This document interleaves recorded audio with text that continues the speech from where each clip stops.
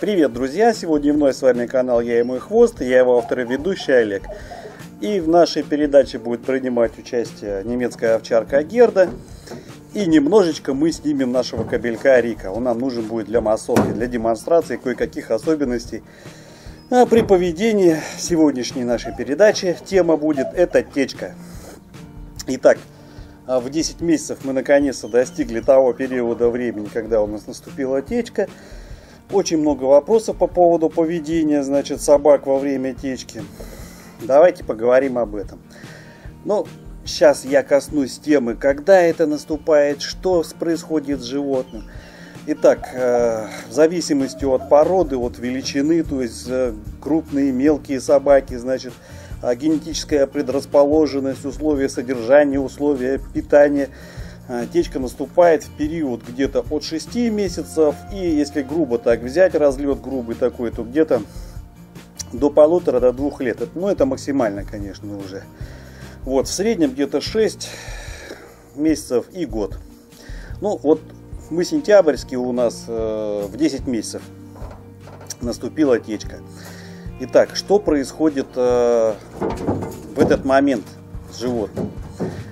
А, первую течку вы можете даже особо не увидеть у собаки. То есть, если вы не будете наблюдать за ней, вы можете, она может протечь, собственно говоря, бескровно. Но для тех, кто знает, а, то здесь может поменяться поведение животного. То есть животное становится а, более такое чувствительное, оно начинает прислушиваться к своему организму, что же с ней происходит. То есть собака, если вы тщательно тренируетесь, дрессируете свою собаку, да, то а, здесь а, возможно полное непослушание, то есть э, собака а, пытается понять, что происходит ее, в ее организме, а вы начинаете ее а, заставлять что-то делать. Она вот в непонимании находится и может произойти отказ от тренировок.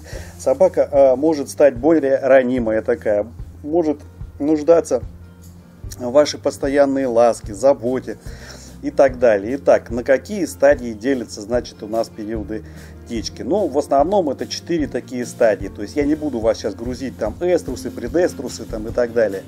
Вот, я бы сказал бы просто. Это, значит, э, подготовка к течке. Э, где-то период, где-то неделька. Потом, значит, э, сам основной период, когда собака уже готова к спариванию. Да, и, собственно говоря, когда и происходит спаривание. А, если в первом периоде, значит, еще начинается уделение, начинается э, увеличение петли, то есть полового органа у собаки, то во втором периоде эта а, петля уже увеличивается до максимальных размеров своих, и собака уже начинает подпускать кабелей. То есть это вот именно в саму течку. То есть если первый а, период, значит, собака еще, сука, не подпускает кабелей, она начинает огрызаться, а, если кабель заигрывать может начать с кабелями, а, но не подпускает, то есть она осадку не дает сделать, то есть именно совершить сам половой акт. То есть она будет всячески либо э, огрызаться с э, кабелем, либо она просто будет не пускать его тем, что она будет присаживаться, то есть тем самым об землю прикрывать свои половые органы.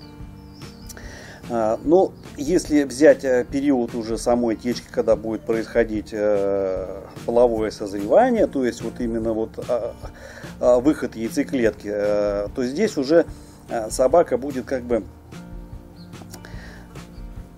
подставлять, подставлять свой, то есть вот начало течки вы можете определить таким образом, что собака у вас чаще начинает ходить в туалет. И уже опытные суки, которые неоднократно точковали, рожва, э, рожали, значит, то здесь они вообще будут практически везде вот ходить и метить территорию. Как вот кобели ходят, метят территорию, так и суки, которые а, течкуют, тоже начнут метить эту территорию.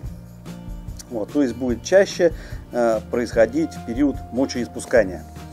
А, и третий период, когда течка заканчивается, и четвертый период, когда, значит, идет э, период полового покоя. То есть, ну, это между течками. Течка, как правило, у собак проходит э, в течение года один-два раза. То есть, ну, у северных собак она может один раз происходить, у дворовых собак один раз в год может происходить. А у домашних, как правило, где-то ну, один-два раза в год проходит. То есть здесь вы становитесь, когда у вас собака затечковала, значит, э, центром внимания всех кобелей во дворе, тем более, когда сука начинает э, мочиться, она как бы метит эту территорию, она обозначает свои запахи, типа вот я такая здесь, раз такая, готовая, значит, к воспроизводству. Вот, поэтому стаи кобелей за вами обеспечены.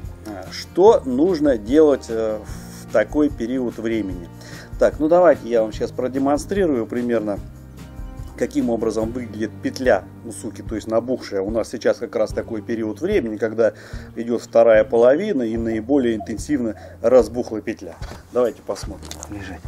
Ложись. Давайте положу так. Молодец, ай браво, ай умница моя девочка. Вот посмотрите, у нас петля. Ну, вот она максимальный уровень, как она у нас разбухла. А теперь я покажу вам. Вон у нас, видите, кабель мы находимся в разных вообще абсолютно уголках вольера для того, чтобы тут не произошло внеплановые вязки. Вот. Ну, я примерно вам сейчас подконтрольно продемонстрирую, как начнет себя вести а, кабель в этот период.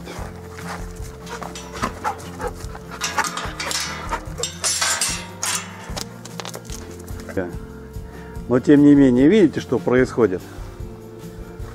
То есть он принюхался, отметил ее запах, запаховые метки. И теперь видите, что делает. Отгонять следует вот так. Нет. Нет, нельзя. Герда, выходи.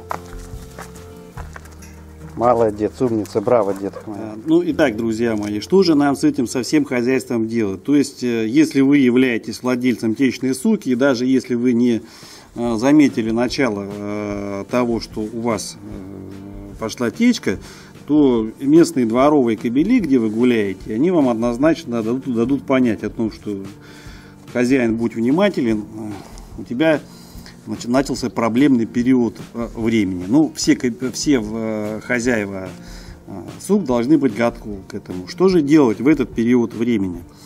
То есть, смотрите, здесь как бы вы не были, в каких бы вы доверительных отношениях не были со своей собакой, э, как бы четко она у вас не выполняла э, команду ко мне, э, все-таки я рекомендую всем ходить со своей собакой именно на поводке. То есть пусть это будет длинный поводок для того, чтобы вы гуляли, то есть для того, чтобы она могла какую-то там нагрузку давать своему организму, бегать вокруг. А, но все-таки гулять нужно именно на поводке. А, дальше. Значит, помимо этого, то есть э, бывают такие течные суки, тут тоже в зависимости от гормонального фона, от выделения самого животного, что привлекают они кобелей, ну буквально со всей округи. То есть, э, каким образом можно решить эту проблему? Продаются сейчас в магазинах всевозможные спреи, то есть, начиная от дешевых каких-нибудь, там, типа фирмы Биовакс, там, я не знаю, там, антикабелины, э, до немецких дорогих. Э, некоторые делают самостоятельно, вываривая там лаврушку, кому что помогает. То есть, для того, чтобы отбить запах, обрызгивают вот штанины, вот сзади вот ляжки у собаки. Ну, желательно, конечно, не попадать на сам половой орган, на слизистую полового органа, а обрызгивают штаны. Ну, кому помогает, кому не помогает, все это, конечно же, все-таки индивидуально. А, но лучше вот обыкновенные палки, я вам скажу так, честно, никто не придумал. Но палку нужно брать с собой для того, чтобы отпугивать кабелей. Не бить их, конечно же, то есть как бы Кобель же прекрасно понимает, что а, сука принадлежит вам, и вы вожак в этой стае, вы, идете, выгуливаете свою собаку. То есть там а, бросков на, на, на суку, тем более на хозяина, суку, естественно, не будет никаких. Тем более сука подчиняется к вам, она всеми своими а, невербальными движениями э, говорит э, кобелям, которые рядышком, что вы являетесь владельцем собаки, вы ее ведете туда, куда хотите, поэтому кобели, естественно, а у них, э, как у всех адекватных нормальных собак, то есть у кобелей, есть запрет на сук, тем более течных сук, и на, на щенков. То есть не надо переживать за то, что э, кабель будет совершать какие-то броски, атаки на, на вас. Он не будет совершать. И поэтому вот палка нужна для того, чтобы просто продемонстрировать, что у вас вот есть сила в руке, что вы в принципе можете и огреть его, если что. Ну, они будут виться кругом, но подходить к вам не будут. Вот. Поэтому я вот рекомендую в этот период времени, продлиться этот период времени где-то около трех недель, вот, быть внимательным, выходить на поводки, брать с собой какую-то, ну, может быть, баллончик какой-то, может быть, где-то как-то, я, честно говоря, не пробовал, ультра, ультразвуковые какие-то отпугиватели есть. Ну, я такими как бы средствами индивидуальной защиты и не пользовался, поэтому рекомендовать или не рекомендовать их я не могу. То есть э, будьте внимательны, выходите строго на поводке, берите с собой какое-то средство защиты. А если вы будете пользоваться какими-то спреями, ну, хотелось бы мне услышать, какие именно спреи кому помогали. То есть внизу в э, комментариях к этому видео, пожалуйста, напишите, если кто-то пользовался какими-то запаховыми средствами, напишите, какими средствами вы пользовались и как именно помогало. То есть, может быть, э, я так предполагаю, что если не сильный запах идет от животного. То есть, а, может быть, там первую неделю, наверное, все-таки помогает, да, а потом, когда сама идет уже течка, когда уже конкретно, вот как, как сейчас я продемонстрировал, набухли половые органы, там идут выделения конкретные, я думаю, что, наверное, все-таки уже вот эти запаховые средства, они абсолютно бесполезны. Ну, в общем, напишите, будет интересно почитать, поделитесь своим мнением. Заслужите доверие, заслужите уважение. С вами был канал Я и мой хвост. Я его автор и ведущий Олег. Спасибо.